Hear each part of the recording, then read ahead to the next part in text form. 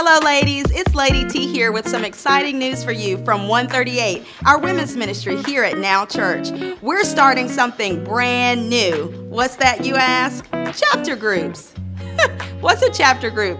Honestly, it's just a fancy word for book club. But seriously, we have picked out some very inspirational materials for each and every one of you. Whether you're married, single, a parent, or a young adult student, we have something for everyone. As a matter of fact, we're starting soon, and we're starting with this book here, The Resolution for Women by Priscilla Shirer.